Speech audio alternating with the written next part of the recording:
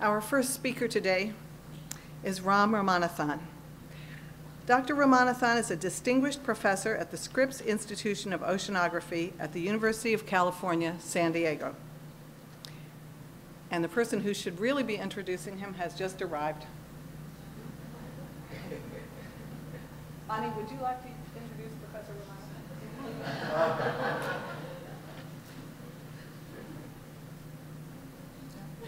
Okay, I'll do it. In the 1970s, he discovered the greenhouse effect of chlorofluorocarbons and numerous other man-made trace gases and forecasted in 1980 that global warming would be detectable by the year 2000. He also led an international team that first discovered the widespread atmospheric brown clouds and showed that they led to large-scale dimming, decreased monsoon rainfall, and rice harvest in India, and played a dominant role in melting of the Himalayan glaciers. His team developed unmanned aerial vehicles with miniaturized instruments to measure black carbon in soot over southern Asia and to track pollution from Beijing during the Olympics. He has estimated that reduction of black carbon can reduce global warming significantly and is following this up with a climate mitigation project entitled Project Surya, which will reduce soot, soot emissions from biofuel cooking in rural India. Dr. Ramanathan is a fellow of the American Association for the Advancement of Science, the American Meteorological Society, the American Geophysical Union, and American Academy of Arts and Sciences. In 1995, the Royal Netherlands Academy of Sciences awarded him the Buys Ballot Medal for outstanding scientific work in the science of atmosphere over the last decade or two. In 2002, he was awarded the Carl Gustav Rossby Research Medal for fundamental insights into the radiative roles of clouds, aerosols, and key gases in the Earth's climate system. He was elected a member of the U.S. National Academy of Sciences in 2002, quote, for fundamental contributions to our modern understanding of global climate change and human impacts on climate and environment, and to the Pontifical Academy of Sciences in 2004 by Pope John Paul II. He was elected to the Royal Swedish Academy of Sciences in 2008. Please join me in welcoming Dr. Ramanathan.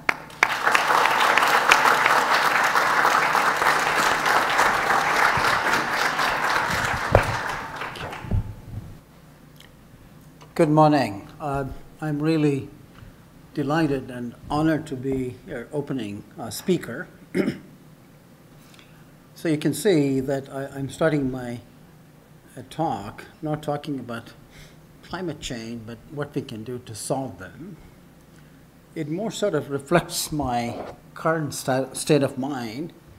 I started working in this problem uh, mid or early 1970s, and I've written, you know, 200 papers.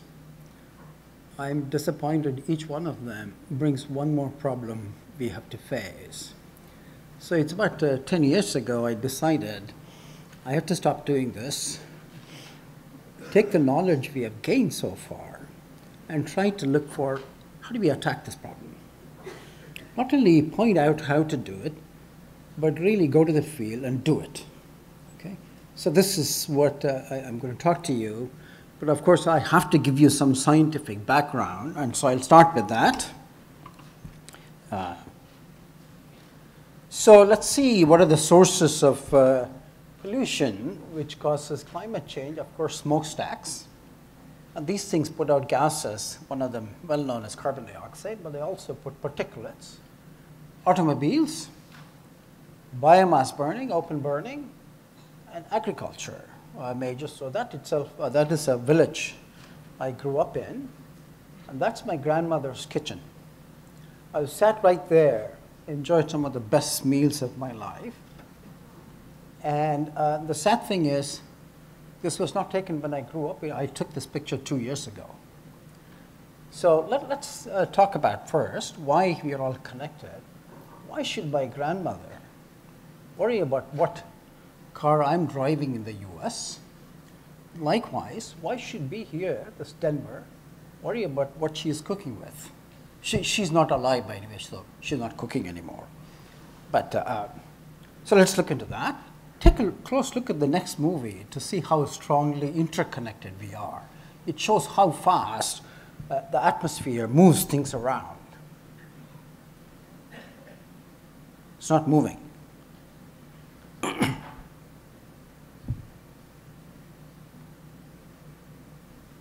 well, it's too bad. The movie is not working. Well, uh, what it shows is that, uh, I don't know why it's not working, we, we just tested it. Air from China moves in a less than a three to four days across into the US, carrying all the pollutants around. Likewise, we would see air from our east coast moves in less than two to three days across Europe, and you would have seen vast amounts of biomass burning dive into the Antarctic in less than four or five days. Yeah. When you, when you were making your presentation, you took the L for Antarctic Features, so you had to come out and go back in. Can you do that? Sure. Apparently, the mistake was mine. I, I, I didn't hit the S button for some questions here.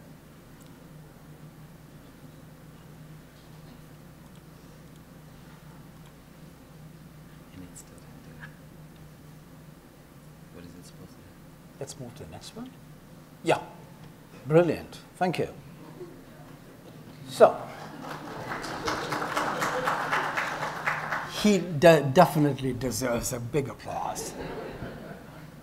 And so, what we see here, you know, you can see the stuff moving, and you can see how air from central parts of Africa just going into the Antarctic. What really happens is that these gases which we put out surround the planet like a blanket. okay? Just think about carbon dioxide. Anything you burns, you know, becomes carbon dioxide. That's a carbon in the fuel. In tailpipe, all that comes out is CO2 and other pollutants. These things, once you release, about half of them stays for about 100 years.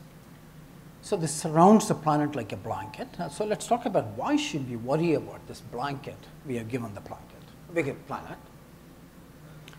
So the fundamental energy source for the planet is sunlight. About 28% is reflected back. So the planet then sunlight heats the planet. It gives off this heat as infrared heat radiation. And that escapes to space. So uh, this thing goes on until what comes in as sunlight leaves the planet as infrared or heat energy. And it's that infrared energy we have blocked by putting this blanket. If you ask yourself, how does the blanket keep you warm on a cold winter night? The blanket has no heat source. It just traps your body, traps your body heat. That's exactly how these gases behave. They trap the heat coming from the planet and heats the planet.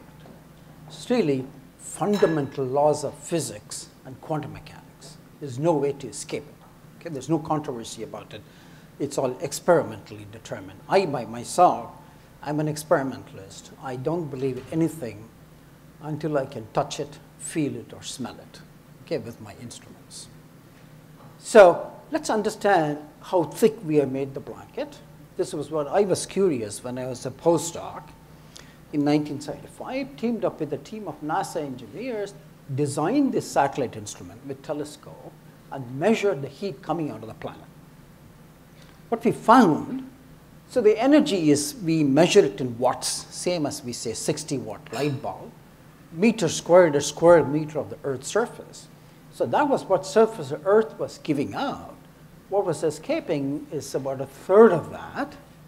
That, by the way, is the blanket Mother Nature gave us. This is not the blanket we created. So without that, the dominant contributor to that blanket is water vapor in the atmosphere. Comes from the ocean, stays in the air, traps heat. Without that blanket, we know the planet would be frozen like Mars. So greenhouse effect by itself is not bad. We need it. What we have done is thicken that blanket. And we know that heating we have added to within 20% by measurements, spectroscopy, quantum mechanics. So we have made that blanket about two and a half percent thick. How much would the planet heat up and how soon? So that's where a lot of the debate and controversies are. It's not in the fact that we are heating the planet, there is just no doubt. It's basic physics. So, it turns out we find out what are the pollutants which is trapping it. First is carbon dioxide, comes from fossil fuel combustion, burning of forests. Okay? It turns out that's not the only thing. There are five other gases, pollutants, halocarbons used as refrigerants. That was my work discovering that greenhouse effect. Nitrous oxide comes from fertilizer use. Plants give, soil gives it out. Ozone, we think of it as a pollutant, which it is, but it's also greenhouse gas. And methane. Methane leaks out from natural gas pipes, from vegetation, from cattle, etc. So about 45, 55% is carbon dioxide, the remaining 45% is the other gases. So I'm going to make a forecast, and you would think it's absolutely crazy. So I need to establish my track record in making such crazy forecasts. So in 1980, I teamed up with the famous meteorologist Roland Madden. And we said, if our theory is right, when would we see this warming? Before that, see how we start these papers the possible climate effects of large increase in atmospheric CO2 may constitute one of the important environmental problems of the coming decade. We were certainly not the first to say it. There are many, Roger Revelle, Svante Arrhenius. So this has been known for at least four to five decades. Society, we have not been able to do anything about it. There's been a warning going on. But anyway, what we forecasted, predicted there, using a sophisticated statistical dynamical model that if we consider all of the uncertainties in our model predictions, but if our theory right, we should detect the warming by year 2000. Okay? Unfortunately, that forecast come, came to be true. This is the global average temperature record of thermometers around the planet, oceans and land. And it shows the warming from 80 temperature. Of course, it fits and bursts, and then since the 60s, it has steadily climbed. And it's only year 2000 the signal rose above the background noise. This is what we forecast. So next, using that, let me make the following, and I'll talk to you a little bit about that. My work has determined we have already dumped enough gases in the planet to warm it by two and a half. That's sort of, for those of you not in, the, in this game, that is very discouraging because the Copenhagen Protocol, which President Obama championed, says we should keep the planet's temperature under 2 degrees. How can we do that? We already put enough gases there. Okay? So even if you reduce carbon dioxide, that's the main focus of all the global negotiations. My work suggests the warming will still exceed two and a half we will, and the second thing which came in 2010, we will very likely reach this 2 degree warming by 2050. So this is not, some, many of us think climate change, 2100, 2200, we have to let our grandchildren, great grandchildren worry about it. This is our lifetime. And I, I am sure, I see so many young students, Notre Dame would organize a conference like this 37 years from now, some of you hopefully would say, I heard this in a conference here by an old guy. Was, he thought it was absolutely crazy. Okay? But fortunately, it's not too late. And that's what I'm going to talk to you about. We can still keep the planet's temperature thermometer under 2 degrees. So let's go back to that. So what I told you is that this, taking the heating and calculating this two and a half re requires a lot of machinery. It's basically saying, remember, the blanket has become thick. It's not allowing the heat to escape. So the planet has to heat up and restore that energy balance. Okay? And that shows all our work is over 300 papers are buried in this. It takes about one watt per meter forcing to heat the planet by 8 tenths of a degree Celsius. If you're used to thinking in Fahrenheit, just double it. You have to multiply by 1.8, but just think of this twice. So the, the 3 watts the blanket has thickened should heat the planet by about two and a half. The question is, so I asked, I answered the question, how large? Next question is how soon? Okay? So one thing you have to understand is that when I say two and a half, there is a tremendous uncertainty in our understanding of climate change. So the distribution of that, I focused on the central figure, two and a half. It could be as small as about one, one to one and a quarter degree. It could be as large as four to six. When I sleep, I pray I am wrong. It is somewhere here, as the skeptics claim. Okay? And beyond this is not even thinkable because our society is not even ready to cope with something like this. A World Bank report something like that. What such a large warming means, I put together the various icons of the planet's climate system. One by one, they will go into go down. First is Arctic summer ice, which we know is already melting rapidly. Next would be the Himalayan. There is a wide range here. Glacier, Greenland ice sheet, the Amazon rainforest, so on and so forth. This is what science scientists are talking about. It looked like science fiction, but these hopefully is. Now you ask the question, wait a minute, how can it be two and a half? The planet has warmed only one third. What happened to the remaining two thirds? Either your theory is wrong or something is missing. So it turns out about half a degree, this comes from observations in the ocean. I'm from the Scripps Institution of Oceanography. We contributed to this in a big way, scientists at Scripps. We know about half a degree is still in the ocean, deeper parts of the ocean. And the ocean will spit it off in the next coming decades, two, three decades. Okay?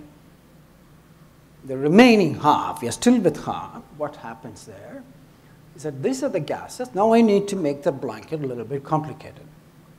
I used a metaphor, otherwise this problem is too complex to explain.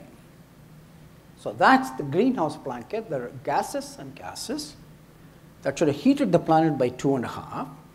We are only seeing one third of it, eight tenths of a degree. And I told you about half a degree is in the ocean, so there's still about 50% left. So it turns out, by sheer dumb luck, as we are putting these gases, are also putting particulates. We know that those who live in the cities, the haze. It, how does it come from? Sulfur dioxide from coal combustion gets converted to sulfates and sulfuric acid. And these are mirrors, white particles, they reflect sunlight. There are other substances, nitrates from cars, organics. So we amassed this warming. So think of this. Let's go back in time before Mr. James Watt, 1750s, nature gave us a nice blanket and we were merrily going along. Here comes the dawn of industrial revolution. We started to burn fossil fuels in a hurry, coal, oil, natural gas, dump these gases, the blanket gets thicker, not as much heat is escaping. We are about to warm to two and a half, but it turns out our pollution, our technologies were weak, so we were putting this mask, the mirrors, the mirrors have reflected sunlight back and offset some of the warming. There's one more thing I have to complicate. Remember diesel combustion. What happens? You see this dark smoke. Or when you burn fires, you see the dark smoke. That is black carbon. It is dark because it's the most efficient absorber of sunlight there is in the planet. Remember, God gave us beautiful blue skies. And in polluted region, the skies don't look blue. In fact, looks brownish. That's why we call them brown cloud. That comes from this. So this heats the blanket directly, contributes to global warming. Okay? Think of it as smoke in the blanket. So completes the story. There's, we thicken the blanket and we put mirrors and now we also put smoke to heat the blanket. The mirrors cool, the smoke heats. It's at this point of my talk skeptics, I'm surprised no one has got up. We know this whole Ramanathan story is smokes and mirrors. Don't believe anything he says. okay? So, in other words, we have good explanation for why the planet has warmed. But that's a Faustian bargain we have made. This mask is what causes acid rain, kills millions. So we are cleaning up. So we are unmasking. Okay? So the warming would accelerate, and that's why we are seeing in the US and Europe the warming rate is increasing. So now let's talk about what, how society is responding to this.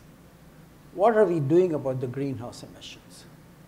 You know, carbon dioxide emission, I don't know you realize how much we, 40 billion tons. It's literally equal to tossing 20 billion cars in the air every year. And they're just staying up there, okay?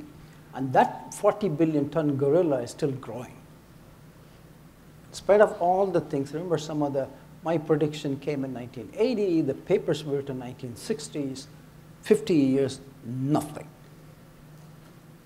The second thing is, what are we doing to the mask? See, the mask was this big. By the way, I visited Venice in 1987. I got fixated on the Venetian mask. And you can see sulfur emissions from US, North America, going down rapidly. I'm not saying we shouldn't have cut the sulfate emission, but cutting it without realizing we are accelerating the warming was a mistake. So the mask is shrinking, which means that we are racing to the two and a half degree warming. So we are basically going the wrong way. The greenhouse gases are increasing, we are thickening the blanket, the cooling aerosols are decreasing, we are unmasking the warming, and we are adding more smoke, black carbon the smoke in the blanket is thickening. Remember, the smoke, by absorbing sunlight, makes the blanket an electric blanket. It's heating more rapidly. So the whole, whole world is focusing on carbon dioxide. President Obama's group released a report two weeks ago. They focus on energy efficiency, alternate. We have to do all that. Believe me, I'm not complaining about that. But no, it's not understood very well See, that is the carbon dioxide concentration simulated by our model. These are the emissions. You can see the emissions going rapidly. Even if I cut the emissions by 50%, which we need to do that, the CO2 is still growing because it's a gorilla with a huge inertia. Okay? We cut it to 80%, this thing is still growing. Finally, it's leveling at 450, but we'd added another one degree warming. We went from two and a half to three and a half. Okay? So what is the solution to this mess? If we don't do anything, if we all decide Ramanathan is nothing but smokes and mirrors, let's keep going, that is the path we are going. We will hit in excess of 4 degree warming by 2100. This now the World Bank has agreed. They released a major report about the catastrophic consequences of hitting 4 degree warming. Okay? If we cut CO2, you would reduce it by a degree, but the relief in 2050 is not going to be there. We are exceeding 2 degree warming around the corner in our lifetime. Okay? So the only way to get out of this mess is to thin that blanket. How do you thin the blanket? Reduce the compounds who have lifetime of few weeks to few months. Black carbon lifetime is one week. So if we cut down black carbon today, they're gone two weeks from now. Their heating effect is gone.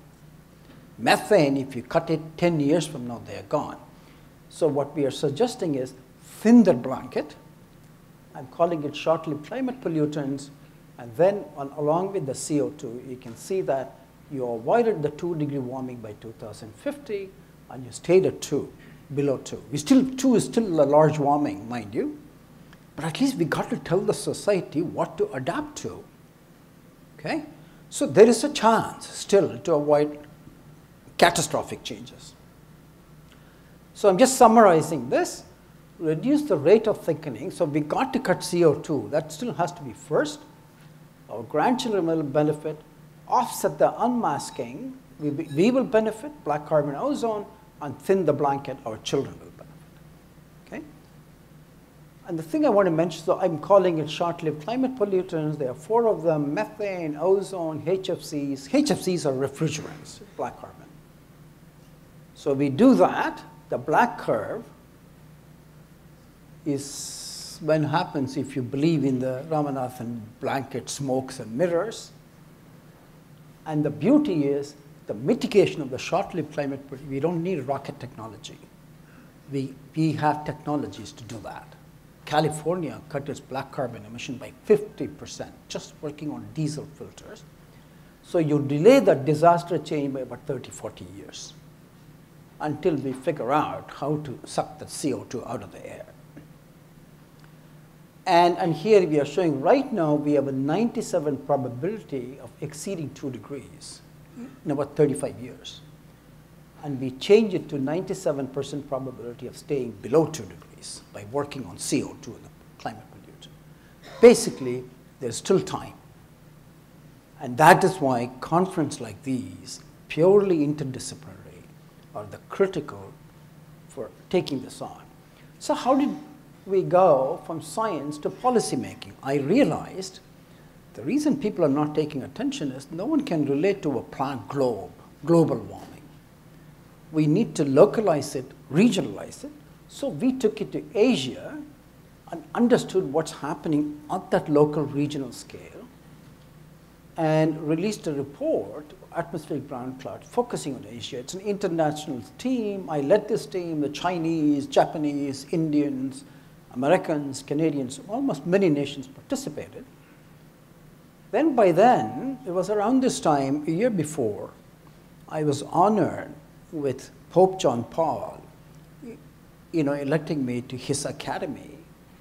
I took it up that this is the forum I need to bring up. And fortunately, Pope Benedict gave us approval to organize this meeting, and it really caught the attention. Okay? After all, let's face it, scientists like me don't have a moral authority to tell people to change behavior, but religion do. And then later, UN caught on and formed this huge international committee. They basically agreed with the projections I had made, and I'm especially proud in the Pontifical Academy meeting, there were three Nobel laureates, top glaciologists in the world, and see what, what we agreed on the declaration. We are committed to ensuring that all inhabitants of this planet receive their daily bread, fresh air to breathe, and clean water to drink. As we are aware, if we want justice and peace, we must protect the habitat that sustains us. But stewardship and the believers among us ask God to grant us this wish. It was a very influential report. And the UNEP report basically confirmed my predictions, projections, but it pointed out, using the measures we used, you can save as much as two and a half million lives lost to air pollution, indoor and outdoor, and save hundreds of millions of tons of crop damages by ozone. So it had huge societal benefits in addition to controlling climate. Fortunately, Hillary Clinton and the Swedish minister took it up, and now they have formed a coalition. About 25 nations have joined. There is a lesson to be learned here how to be effective in climate change mitigation. In, this is my speculation. I'm not a social scientist. I hear Dr. Gardiner is going to be there tomorrow, and it'd be nice to see what he has to say. The reason we got such rapid response, within two years of paper, it became 25 nations signed up. Public health, food security, benefits with materials in our lifetime. We are not telling them, please cut down your emissions so that you can save Greenland ice sheet 200 years from now. We're talking about around the corner. The effects are regionally concentrated. People who do the control would get to see it, etc., etc. So now I want to talk to you about how do we take this policy and implement it in the field. I knew I just, if I just left it with my scientific papers, they're just going to be there lamenting. People are interested, but they also know how to do it. Okay? The short-lived climate pollutants really requires bottom-up approach. And I want to give you one example one of the major sources of black carbon, about a third of the black carbon emissions come from residential sector, cooking, lighting, and heating with biomass and solid coal.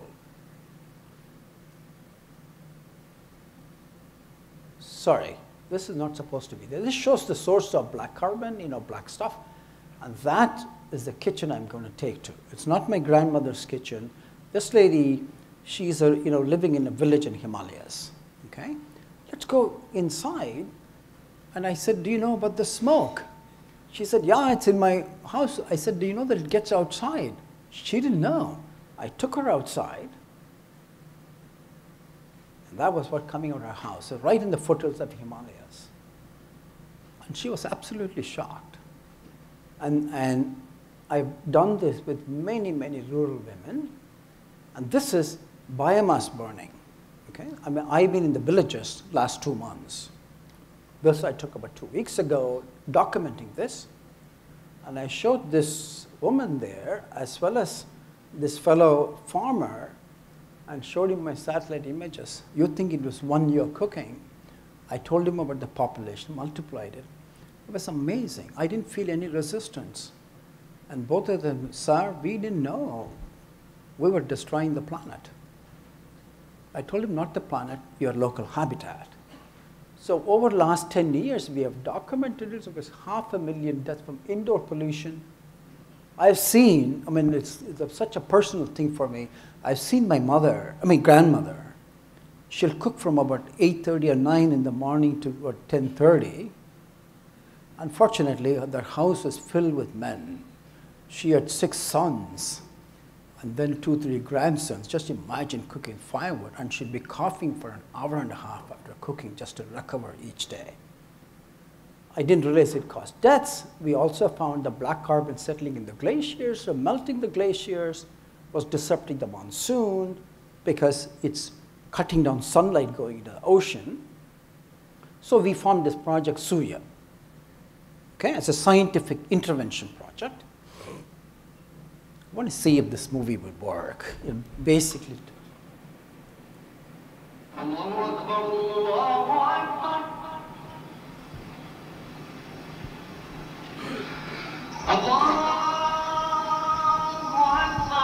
it's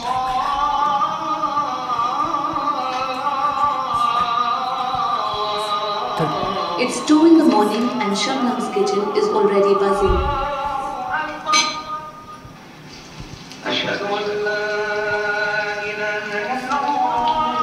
It's Ramadan, the holy month of fasting for Muslims. The meal has to be eaten before the break of dawn at this unusual hour, Shabnam has a few unlikely visitors. Those are my research assistants.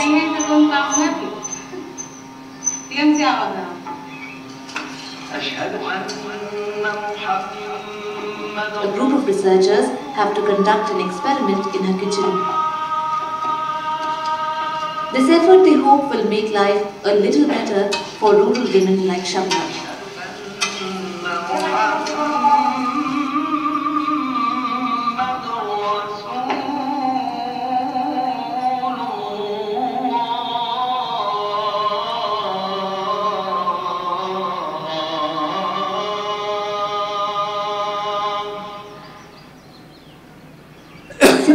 Shabnam lives in Kheratpur village located in the Indo-Gangetic plains of North India. In an agricultural economy, most families here live on less than a dollar a day. There is little access to basic amenities, be it health, education, or even electricity. Most girls drop out before completing high school only to take on the mantle of household chores. Shabnam spends several hours inside a smoke-filled kitchen. Inhaling the smoke puts her at a high risk of contracting diseases like asthma, tuberculosis, and cancer. The soot on the walls is only a small reminder of what might be in the lungs of rural women who spend hours in this space. I have experienced this personally. You know, my grandmother. So it goes on, uh, sort of documents what, what we have done.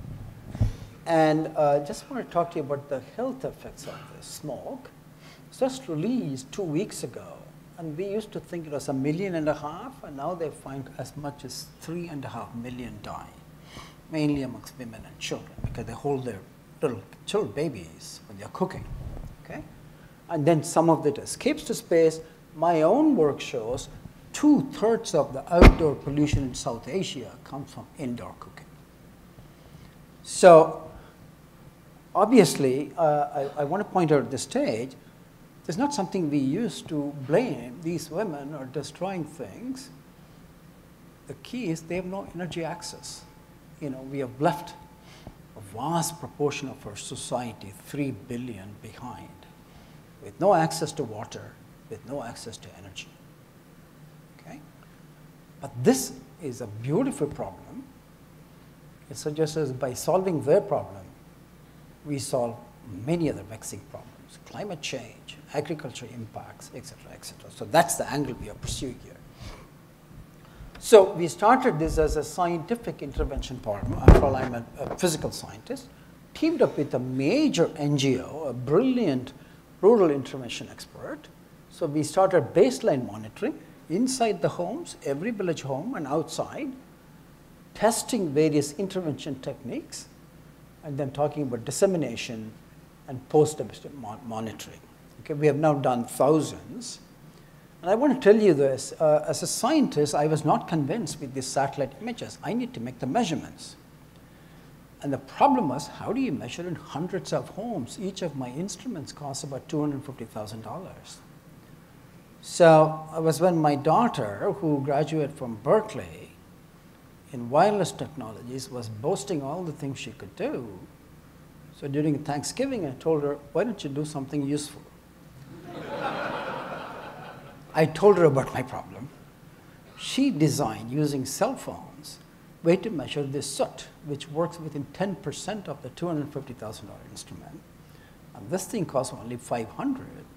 We are able to give the women to make the measurements. It had a huge impact on them. Anyway, what we documented, this is the black carbon concentration. For example, Chicago is one of the polluted cities in black carbon. That concentration is somewhere here in our cities on the bottom. These things are factor 100 large, and you can see when she starts cooking at 5.30, it shoots up. She finishes her cooking by 7, sends her children to school by 7.38, and then goes to the farm to work. Okay? Goes down, and then she comes back around 6.30, goes up. In the meantime, mind you, she also have to travel at least half to one kilometer to get water. I mean, in the last two weeks, I, I, two months, I did not realize how much work is done by rural women. And we complain about them migrating to cities. Wouldn't you, if you're reduced to this? So, and you know, team, there are brilliant engineers in this team in India, so they found out this so-called forced draft stove with a gasified chamber brings down the black carbon concentration by 70%. So now we have a technology to solve the problem, okay? The question is, how do you scale it up? We've done it over 1,000 homes. The problems are these stoves are expensive, $70. And that's about roughly one month of their take-home pay. Would we spend a month of our salary on a cook stove? See, for example, if you go south of, in the US, about 40 degrees south, solar will power your home. The reason we can't do that is it costs about six weeks to two months of our paycheck.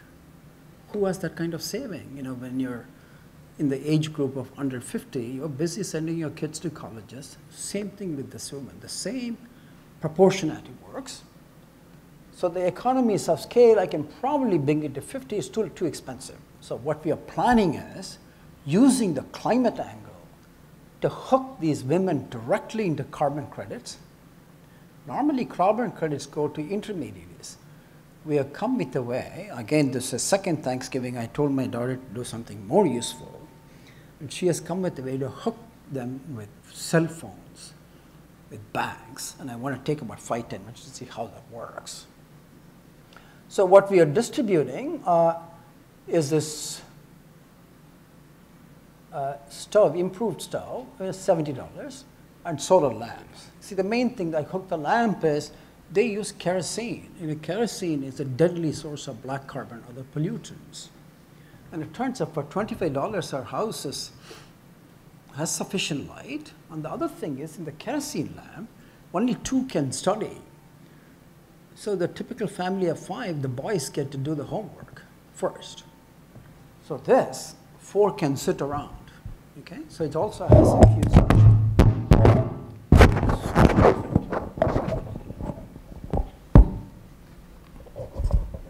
Don't, don't get nervous. I'm not leaving with the thunder. My just this thing came down. So uh, what we are doing is, uh, let me just describe that. So that that's Nitya, she has put the sensor there. See, the key problem in carbon credits, people cheat.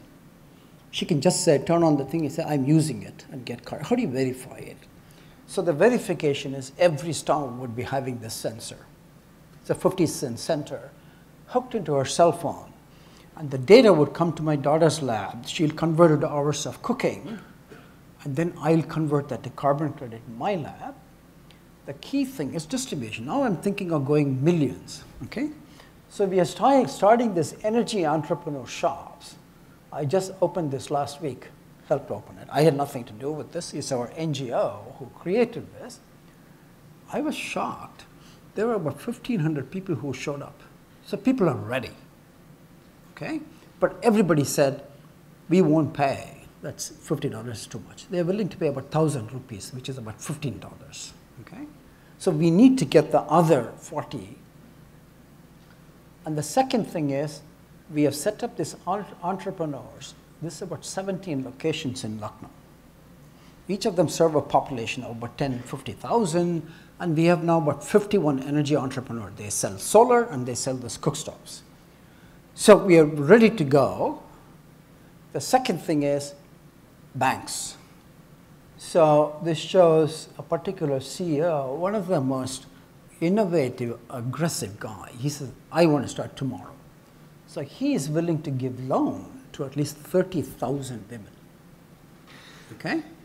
And the key thing is you, they don't give loan to an individual woman. There's no rules. We were not going to give them backing. All we said, we'll give them credits provided the women earn it. Okay? So this is signed up. This is in the famous town of Varanasi, part of the Indo-Gangetic Plains. The thing is, when you start dealing with money, how do you avoid corruption and all that? So we are teaming up with village leaders, these are all panchayat leaders, to form so-called village oversight committee, to have an oversight of this so that the money goes to the right hands. And lastly, people participating have to hear my lectures on global warming and sort yes. Okay?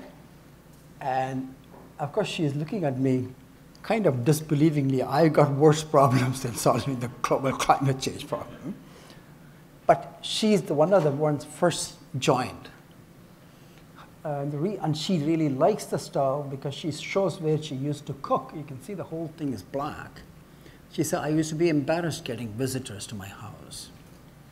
So she was able to buy it because her husband is in Dubai as a laborer. So she was, you know, I think they gave a little bit better paid. Um, but we are educating women like this. But the key thing is, right now I have created a climate mitigation fund within the University of California. I put my own money there. My uh, chair funds is about 25,000 and we fund another 25 from UNEP. So we have $45,000, which means we can give carbon credit for 1,000 stoves okay? And we want to demonstrate it, develop the protocols, to make sure the money doesn't go to the wrong hands. Once we are there, the voluntary carbon markets have agreed to sign up with us, in which case we will go global. So it'll become a project. Anyone can say, okay, I'll buy carbon credit for Surya, okay? So that's our approach. And, and this is sort of a schematic, we are doing this protocol so that it could be adopted by the world to scale up. All right? So I told the bank's energy enterprise we created, I talked to you about the bank. They won't give the loan to an individual woman. So we have to form self-help groups. It's a groups of six to 10 women get together. There's peer pressure. I mean, this is similar to the Grameen stuff. That's how it's done. So we have formed all this. I'm excited to say the whole stuff and this is the money part. Okay, the data goes to my lab, my daughter's lab. She processes it, and then we get it at UCSD. I convert it into carbon credits. goes to the mitigation fund, then we give to the financial institution, they will then distribute the money to the individual woman. They all have accounts in the bank. Okay? So, uh, what's at stake here? This is my quid pro quo to them. You solve my grandmother's problem, I'll show you how to tackle warming. Okay? There are 3 billion who have no access to fossil fuel. Saving hours of time lost, my cook stoves, I shouldn't say mine, the one we use, save about 50% in fuel. That's how we get carbon credit. We cut half the number of trees, okay? Remember, they collect one and a half to two tons per year. Just imagine carrying that much of firewood on your head, okay? Of course, it's over 365 days. Invariably, the woman, if she's busy collecting water, the girls do that. And I was there in this village and I asked this girl, What is your brother doing? Well, she has a 13 year old brother and she doesn't say anything. Then we probe her that she, he's playing cricket. So the boys play sports. So I track him down in the cricket. He thought I'm come there to take video of his big game. so I asked him, uh, Why are you not helping your mother collect the wood? And he says, I know, I help her more if I become a big cricket star, I'll bring in tons of rupees to help the family. So that is the sad truth. And it's all done by women and girls. And then the environmental benefits are huge. We mitigate a billion tons of CO2 per year, just providing them cook stoves, avoiding deforestation. Okay? And then another billion tons of CO2 equivalent through black carbon short-lived pollutants. And it has been shown at least half of the melting we are seeing is coming from the short-lived pollutants. So just this is a problem which has been waiting for a solution for a thousand years. I think the climate has become a game changer. And I want to tell you, the short lived climate pollutants, it's just one of 20, 30 examples I can give you. Waste management, a lot of methane is lost, right? Cattle and uh, HFCs, there are replacement compounds. It's idiotic. We are using HFCs. Uh, sorry, I have to be blunt there are hydrofluorocarbons which has 100 to 1000 times less effect on the, than the ones we are using. So there are just so many, many, many ways. And I just wanted to conclude you uh, with this summary, okay? You have to remember if somebody says cut CO2, of course, if you ask him, what is it going to do the climate change next 35 years? The answer is not much. Then you ask, is there something else we can do? 80% would say, not much, because they're not familiar, even in my own field, about this other short-lived pollutants. You have to reduce emissions of these to protect ourselves in the next 30 years. But at the same time, you have to start the CO2. The CO2 reduction, if you don't start now, we have certainly lost the game because of its long lifetime. It's a cumulative effect. Whereas the short lived, it's an instantaneous effect. Okay? So we have to do this without taking our eye off the ball of this 38 billion ton ton gorilla. And I wanted to mention to you, um, I'm not stopping it there. Uh, we teamed up with uh, a well-known development economist, Partha Dasgupta. He is a chair professor at Cambridge University last 40 years, and Archbishop Roland Minarath and myself, we proposed to the Pontifical Academy we should organize a far-reaching conference, put this whole thing in this sustainability domain of sustainability humanity and sustainable nature. And I'm pleased to say uh, that this was proposed under Pope Benedict. He agreed to address us, and the Pope has changed, as we know.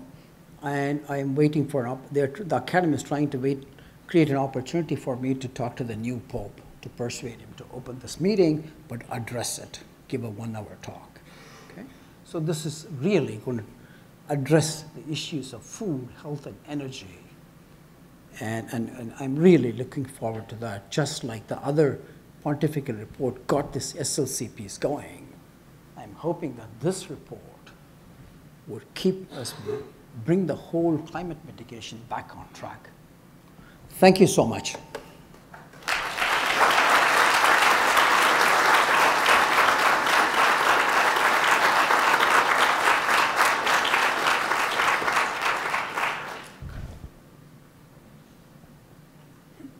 Thank you very much. Um, I wonder if you would be willing to entertain some questions Yeah. now from the audience. So, please. Yeah, here are the mics.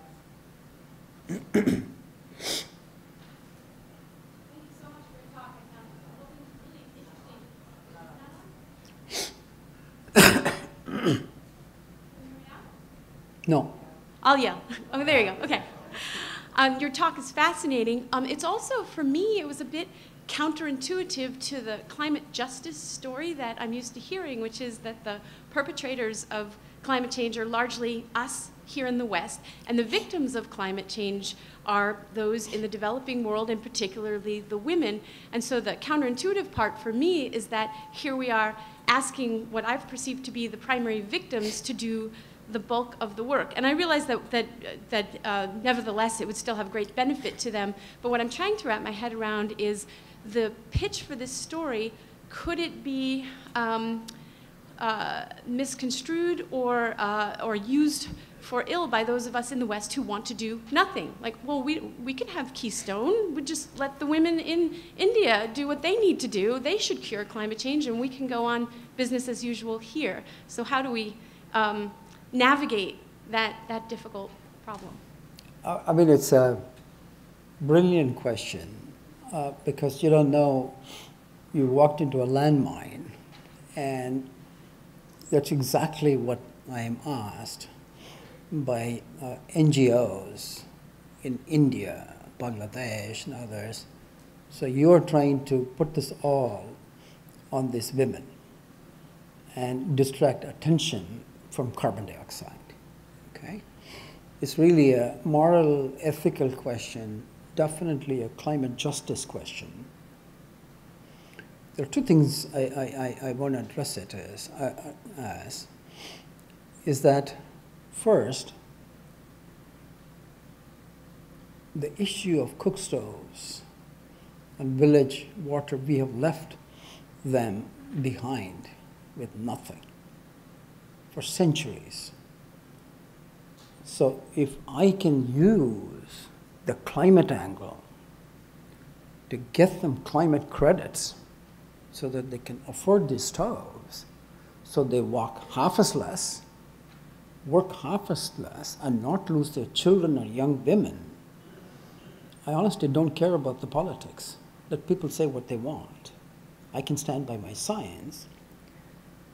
The second is, um, I'm hoping, but this is a foolish hope, is that if I, through this carbon credit spreads to over, say, a few million, I'm thinking I can come back to the US and tell my fellow citizens if women in India can do this, do you think we cannot do this? We can do it too. We can protect the climate and benefit ourselves. So that's the story there. Protecting climate protects us individually.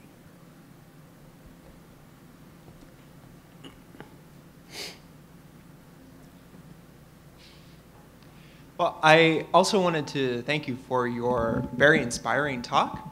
Um, but I'm afraid I also wanted to ask kind of a critical question. So you mentioned the Grameen Bank and other micro-lending institutions as the kind of intermediaries between the carbon credits and the women in these villages. One of the common criticisms of micro-lending institutions is that they charge interest rates that by our standards are usurious. Um, and so I'm wondering basically what kind of cut these intermediary financial institutions are taking off of the carbon credits. And if we're talking about maybe a 25% or a 50% cut, then maybe we should consider alternative kinds of financial arrangements um, so that these women are getting more of the economic benefits of the work that they're doing. Good question. Um, as you know, I'm a physical scientist. When I got into this three years ago, and the Grameen Bank approached me, I was shocked at the interest rates. Honestly, I would not buy. If my credit card charged me that much interest rate, I would tear it up. It is so high. So uh, that was just to me a no-no. Uh, here, these are mainly rural government India banks, and the interest rate is 10%. It's an unheard of interest rate, but I don't know if it's sustainable it's for these 2,000 homes. and uh, what I teamed up with a social scientist, you know, she and I wrote this paper in Foreign Affairs that got Hillary Clinton reading about this uh, short-lived climate pollutants. So we are writing an article in a, it's called SSIR, Stanford Social Something, how impact investor, investors, private foundations, and social entrepreneurs can get into this game and change it. And getting into this game means not giving them money, giving them this interest money, the same interest you and I get if we go to a bank.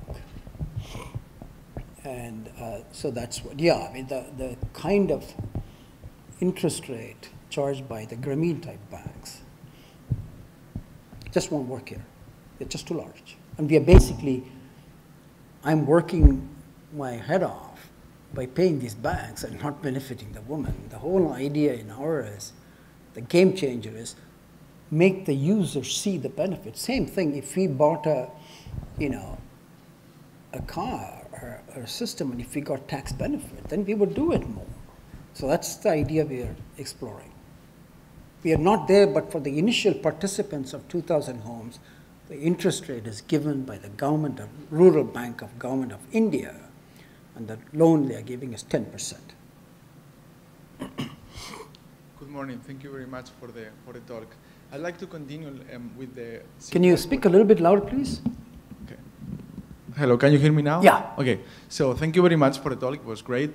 And I'd like to continue a little bit with the question that Deborah asked about asking um, the developing world to leapfrog into greener technologies, which I think is important because also has health issues. But my question is, is a bit more simple. How much of that emissions come from developed world? How much of the black uh, carbon comes from the US? And because I know we, we are supposed to have filters, particle filters, to, to take out much of that, but are we doing something? Can we do much something more? Thank you. I should have pointed that out. Uh, it may come as a shock to the audience. The per capita emission of black carbon is larger in the US than in India. We are also big time black carbon emitters. So I didn't think of it as a poor man's issue at all, poor man's emission. Methane, we are probably about, you know, larger, even in terms of absolute amount, than India. Okay? So it's certainly not a developing nation problem. What I'm trying to do is because I was exposed to this cook, cook stove issue from my grandmother's time, I'm focusing on this in part because about two thirds of the outdoor pollution in India comes from the cook stoves. So the local benefits are huge. That's what I emphasize when I talk to you. I was just joking, I was telling this woman about global warming. I was more talking to her about health issues, disrupting the monsoon, disrupting the glaciers, etc. So uh, HFCs, you know, we use more refrigerants than anybody else in the planet. So yeah, thank you for clarifying that. I don't have all the numbers involved, but we are a major players in the short-lived climate pollutants. I should have given that answer to that other uh, scientist who asked me, are you turning attention away from the US into India? No, not really. Our black carbon emission from diesel is huge. and also open burning and fireplaces. Barbecues, I'm not saying we shouldn't barbecue. I'm just giving a fact.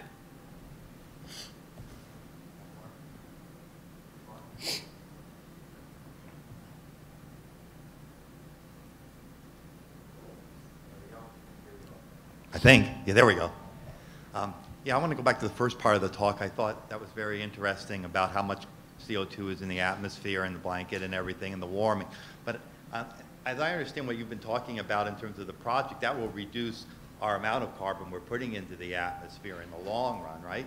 But in the short run, there's still a lot of it in there. So how are we going to prevent the global warming that is going in the short run to increase us above two and a half to or three to three degrees?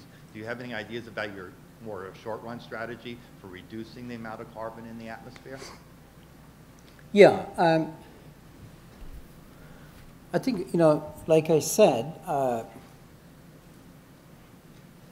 again, if you go back to the blanket analogy, the blanket has become thicker by two and a half. Cutting down emission of CO2 is not going to thin that blanket. Okay? It will only prevent it from thickening. So, uh, on the other hand, if you don't cut that emission, we are leaving a disaster for our future generations. I don't think I am doubting that at all. I mean, uh, one thing I didn't even talk about, a global scale disaster, everyone focuses on sea level rise, acidity of the ocean.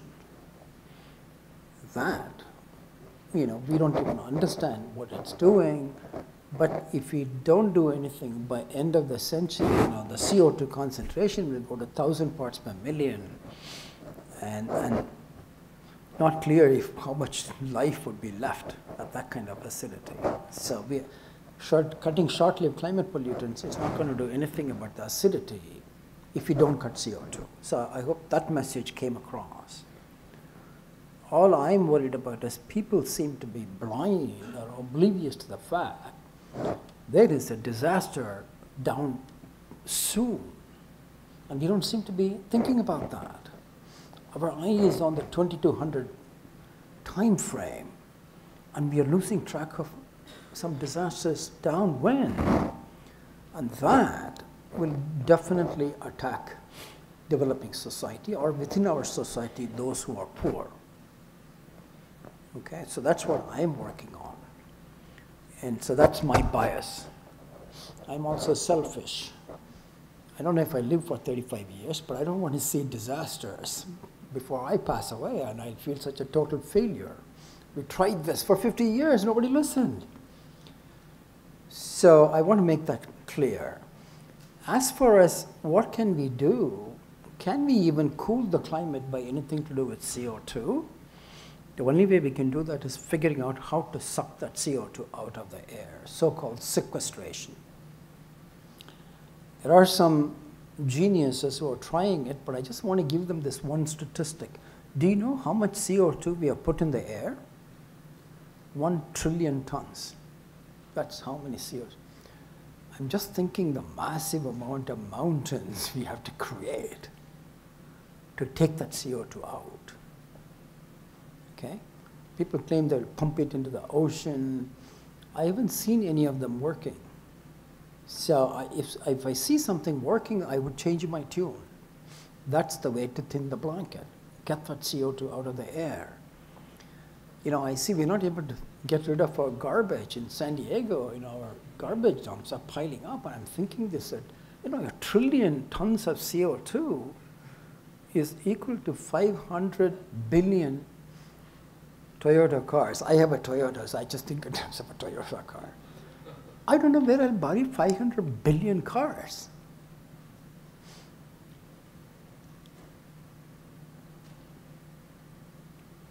Let's end on a positive note. I didn't want to end on that note.